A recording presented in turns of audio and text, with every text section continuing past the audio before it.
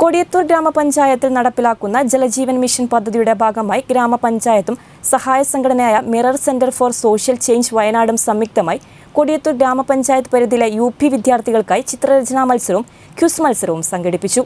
Kodiyathur G M U P സ്കൂളിൽ നടന്ന പരിപാടി ഗ്രാമപഞ്ചായത്ത് വൈസ് പ്രസിഡന്റ് കരീം പഴങ്കൽ ഉദ്ഘാടനം ചെയ്തു. ആരോഗ്യ വിദ്യാഭ്യാസ കാര്യ ചെയർപേഴ്സൺ ആയിഷ ചെലപ്പുറത്ത് അധ്യക്ഷത വഹിച്ചു. ചടങ്ങിൽ Kodiyathur G M U P S headmaster Salam ജലസംരക്ഷണ പ്രതിജ്ഞ ചൊല്ലിക്കൊടുത്തു Divya Shibu Jal Jeevan mission team leader Nidhin K K തുടങ്ങിയവർ സംസാരിച്ചു.